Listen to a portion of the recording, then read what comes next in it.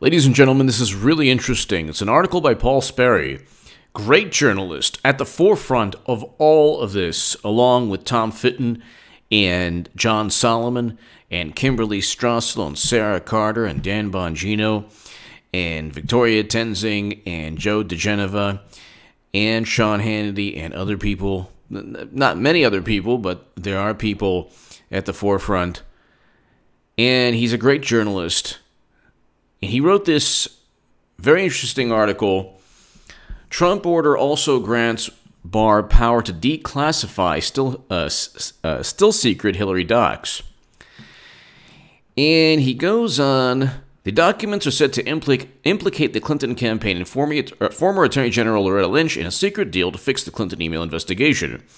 That is very interesting. One of the one of these undisclosed papers remains so secret that Justice's Inspector General Michael Horowitz was barred from discussing it in his 500 uh, page report on the FBI's investigation of Clinton. Quote, the information was classified at such a high level by the intelligence community that it limited even the members of Congress who can see it, as well as the staffs. So, this is in his memoir, former FBI Director James Comey says he worried Lynch might have been uh, might be viewed as, quote, politically compromised if the secret uh, information is leaked, especially after the public found out she privately met with Bill Clinton on, a, on, on an airport tarmac just days before the FBI interviewed his wife in July of 2016. So this ties into the nausea or the queasiness that James Comey felt. Because according to him, under oath, Attorney General Loretta Lynch told him to call the Clinton email investigation a matter. That would be obstruction of justice if Trump if Trump's AG had told Christopher Wray to call, you know, an investigation into Trump a matter. But count on Barr also freeing up a highly classified May 2016 memo drafted by Clinton investigators for higher ups at Justice Justice's National Security Division. At the time, agents sought access to still secret intelligence report that a foreign government, reportedly China, penetrated Clinton's unsecured private server and exfiltrated classified uh, emails. They need to explore the issue to complete their investigation since cyber espionage is relevant to their probe. They needed to, sorry, explore the. So, this is really interesting. Trump's memo directs the Attorney General to first consult with agency heads before declassifying material, and Barr, who started his career uh, at Brennan's old agency, has vowed to do just that. Quote, I know how to handle classified information, he said, and I strongly believe in protecting intel sources and methods. Okay, here we go. Sources and methods. You have you have Madam Cyberhack who had servers outside of the United States government with top secret and special access program intelligence on these servers. It's pretty unbelievable. So, of course, it was her servers were unencrypted for 3 months. Of course they were infiltrated by the entire planet. This is not like rocket science.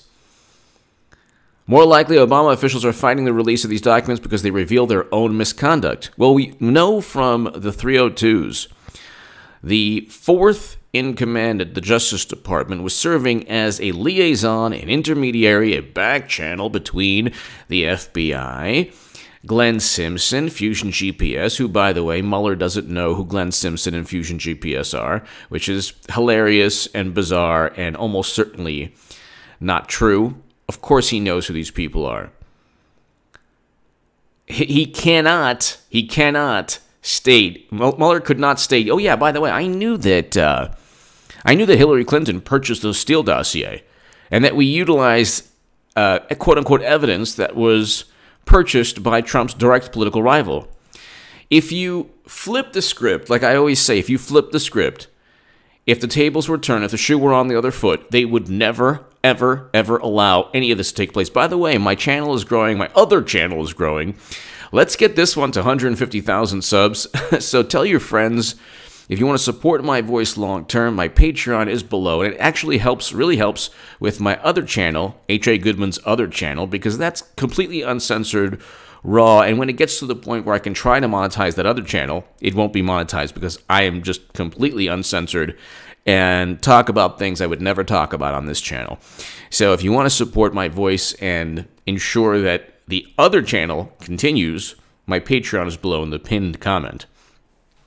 But subscribe to H.A. Goodman's other channel. I talk about Joe Biden. I talk about what, you know, you could tell people if they call you racist for voting Trump, all these things. So that's a pretty fun, um, raw um, H.A. Goodman channel. It's H.A. Goodman's other channel. That's below in the pinned comment.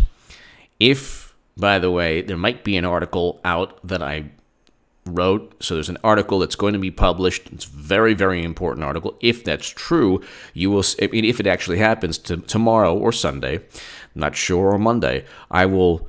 As as the, as of this taping, I don't know if it's published yet, but if it is, it'll be the first thing you see in the pinned comment right above um, H.A. Goodman's other channel and my Patreon link. Okay. Um, this is a really, really interesting article. So he wrote Breaking Trump order also allows, uh, also grants Barr power to declassify still secret Hillary docs. Um, the really interesting thing here is it goes on to Trump's order gives Barr unilateral authority to declassify any information classified under Obama's Executive Order 13526, including intelligence sources and methods. Wow, so you can declassify anything.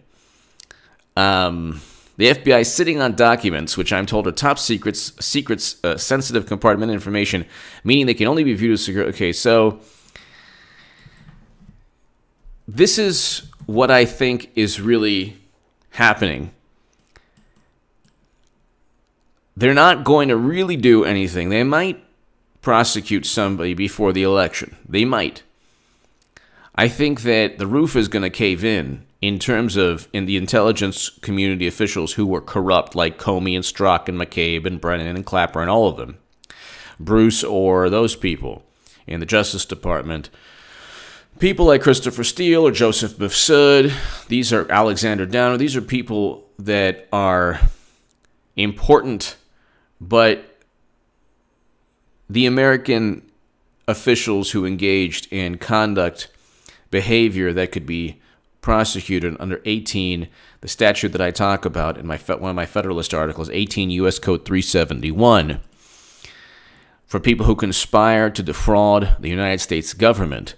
I think that this next election is going to decide what happens to Comey and McCabe and Strzok. I think that McCabe and, and, and others could be indicted prior to the election. Okay? I think eventually, inevitably, these people are going to get indicted. I think Trump's going to win again. You know that I'm telling you from day one, early 2017, in the Huffington Post, and then my Times of Israel article uh, a couple months ago saying Clinton's going to run. If Clinton wins, then Comey and Strzok and McCabe and Clapper and Brennan, you know, very likely not going to get indicted. I don't see Clinton winning. Theoretically, she could if she spent well over two billion dollars because she spent 1.2 billion. She could get she could get that she'll get that 800 million this year to make it 2 billion. Trump's going to get over over a billion. So she might outraise Trump, outspend Trump 2 to 1. She still lost outspending Trump 2 to 1. Now, in 2015, I said Clinton could not win. In the Huffington Post, The Hill and Salon, the editors there all agreed with me. Everything I wrote went through editors. Okay, there's a reason I say this. Um, nobody listened. They said, oh, yeah, yeah. Then they said that Bernie Sanders wasn't cheated, she won, fair and square. Then they say that uh, Russia hacked the DNC to inform the country that Bernie Sanders was cheated. They don't have a specific propaganda. It's like their allegiance to the intelligence community and media. They only like eh, the New York Times, Trump, the eh, headline, you know, Trump promotes unity. Oh my God! And then they had to re, they had to um, reword the headline. It's you know, there's just a pure, transparent, overt quest for political influence and power. That's it. That's it. They don't care how they do it. And they don't care if they drag the country through the mud. They really don't. But why are we still talking about Clinton's private servers, emails, documents that are secret? Because it was an overt cover up. When people say, ah, H.A. Goodman said Clinton would be indicted, she committed crimes. You had Loretta Lynch meeting with Bill Clinton to speak about golf, Brexit, and grandchildren. You had Peter Strzok del- uh, deleting five references to gross negligence, which would have directly implicated Clinton under U.S. Code uh, 793F. That's under the Espionage Act. Gross negligence. You don't need intent. He added intent to something you don't need intent for. There were agreements that said you can't talk about the Clinton Foundation and you couldn't indict uh, Clinton's attorneys for obstructing justice. There were laptops the FBI couldn't get a hold of. There were laptops that they did away with. And the, the FBI was okay with that. Then they went after Trump with everything they had. And they went after everyone around him with everything they had. And I mean, do you think Bill Maher cares? He doesn't know. So Bill Maher is like, you're gonna see, like Hollywood, people like Bill Maher, the average writer at the Washington Post, they don't care anything, anything that is spread first by FBI or, or, or Brennan or Clapper through the media, anything that's spread without evidence, they're okay with fomenting and repeating. So when they say that Clinton did nothing wrong, that she was exonerated, that she didn't intentionally commit any crimes, and that it was a big, you know, whatever, nobody hacked her servers, well, that's what they're being fed from Comey. Same with Clapper feeding the whole, and Brennan and Comey feeding the whole Trump Russia myth. And that's why it's important that William Barr is allowed to declassify documents. If they can declassify documents showing that not only was her server hacked, but there was more than enough intent to indict, then you get Clinton indicted, and I believe she will be indicted after after she loses the election. Because she's running again. Keep saying that it ain't gonna be Biden. Okay? Um go on forever about that.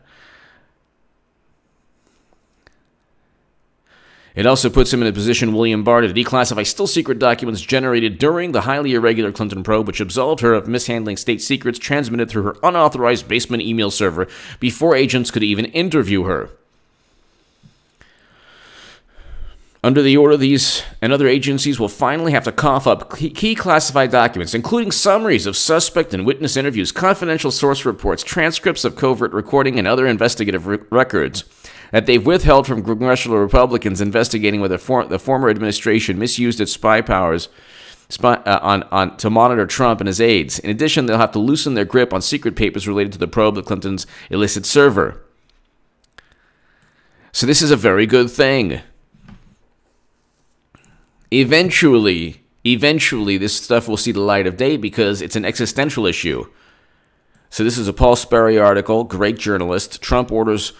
Uh, Trump order also grants Barr power to declassify still secret Hillary docs documents. This is an existential issue for the country in terms of you cannot have a functioning country, a functioning state, if one top official is allowed to have servers. Think about it this way. You ha- you you you work at Microsoft or Apple or any company. You're you're the you're the CFO of a company or whatever. You're a manager at an investment bank, a vice president or whatever. And you install your own servers. You don't run on the company servers. You think you think Facebook would allow that? No, they're the ones infiltrating your data. You think Microsoft? We think Bill Gates would allow that? Oh, no problem. You're you're the new uh, manager here. Oh, okay. You have your own servers. Okay, mm, that's good. Uh, oh, and they're linked directly to Apple. No problem. Just give them all our secrets. No tech company would allow that, but the government allowed that with Clinton. I mean, you know, you, you wouldn't you just wouldn't see that. You wouldn't see that in the private sector because it would be absurd. It would be so ridiculous you couldn't even imagine that. There is something called corporate espionage. So if you if you just you get hired by a company and the day the day that you set up your own servers is the day they fire you and confiscate your servers. The company would like Microsoft would confiscate your servers. You wouldn't say, "Oh, these are mine." Because I, I put yoga emails on there and now I'm, you know, any company would. The US government would if you were anyone else but Clinton. And if you had top secret and special access program intelligence, they wouldn't even you would go straight to jail. But but media, Democrats, and they control basically essentially control the media, the mainstream media narrative. If you just um, if you dare question, if you dare question that Madam Cyberhack could have been hacked or was uh, using server servers to um, circumvent record keeping laws and circumvent scrutiny from the public and from from the U.S. government about pay to play schemes from the Clinton Foundation. Oh my God! And they say, oh yeah, you know, why is money going into the Clinton Foundation from Uranium One executives? And they talk about Russia as if like they're these cold warriors. This is there, it happened under their watch, and they also, 20% of U.S. uranium capacity was sold under their watch. There are mines in Utah owned by Putin now. That's in the New York Times. And yellowcake uranium was shipped out of the country. That's in the New York Times. So the corruption look, Democrats are not going to win because in 2020 with Clinton, they're going to Clinton's going to be the nominee. But they're not going to win, no matter what the polls say, because there's too much deception, there's too much corruption. It's not sustainable. People, they can go and rant and rave about Trump, but the one thing Trump is, is he's genuine. Now, he's crude sometimes, rude sometimes, but he's a counterpuncher. They go after him. They don't treat him in a presidential manner. Then he act, he responds uh, in a reciprocal manner and he doesn't kowtow to any of the absurd media message messages. He doesn't usually kowtow. Um, he doesn't. I mean, he has a little bit lately, but whatever. Um, they they he's genuine. He has a message. President Obama, for example, deported 3 million human beings, and he was on a faster pace than President Trump at this point in their pres- presidencies. Okay? But President Obama is shielded from criticism because he, you know, says the right things. Clinton um, is shielded from the scrutiny anybody would receive because the media, that's their cherished, that was their cherished pick. With Trump, he is who he is. So there's not it, it, it is his his presidency is sustainable. The the economic growth is sustainable. He wants to restructure trade deals. He has a foreign policy where he wants to bring home Americans. He stated that all Americans in, in one counterinsurgency conflict. He has policies that are working. There's record low black and Latino unemployment. So he's a pretty bad bigot. He's, he's really bad at being a racist monster. The economy is at an all, a record low unemployment for nationally, and there's a million jobs. There's a million job openings. There's a million more job openings than workers to fill them. Okay, uh, their economic zones. He signed the First Step Act. Uh, he did a lot. He's done a lot of great things. First president to step foot in North Korea to start the process, peace process between North and South Korea. That happened under Trump. President Obama destroyed Libya and helped uh, further the destruction in other countries. But why am I going into this spiel? The reason is because with Trump, there isn't he's not doing things that are not sustainable. The media actually quotes things he never says, looks at the subtext that isn't there, and then creates this world that doesn't exist. And I explain on H.A. Goodman's other channel. So it really doesn't matter how much money Clinton raises, because she'll raise maybe well over two billion. But it ain't gonna work out. it ain't gonna because the the average American might not like the average American might say, well, Trump's personality isn't that great, but he's a great he's a good president. The average American's not gonna say, you know what, um, all of this all of this corruption on Clinton's end, well, at least she's polished. At least she's, you know, presidential. And I'm going to I'm to make sure that I vote despite that I vote for Clinton in 2020 despite the fact that the economy's doing well. despite the fact that there's no, you know, horrendous uh, foreign policy disaster. So, I mean, a whole bunch of other reasons in addition to the corruption. I guess that's what I was trying slowly trying to get to.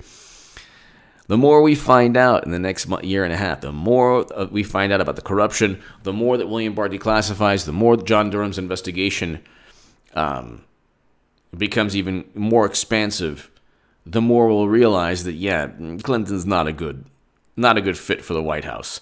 But this is their last chance at at, at retaining or regaining power. So they're not going to give it up with Botox Biden, who makes gaff after gaff, or any other candidate there, because if they're going to lose 2020, they might as well give it. I mean, think of it from the Democratic Party perspective.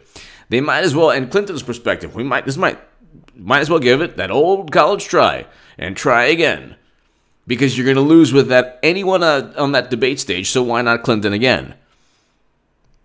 And to them, Trump is like the worst president of all time, even though he's he's the best president of my lifetime, and I can easily debate anyone on that. Give me your thoughts below. Share this segment everywhere. William Barr. It's very very good news. Uh, check out H.A. Goodman's other channel. Get people to su- subscribe to this channel and that channel. There's HA2A, my firearms channel, um, and I'll probably upload some segments uh, in the next couple of weeks there. Ladies and gentlemen, thank you so very much. If one of my articles is up, it'll be below in the pinned comment.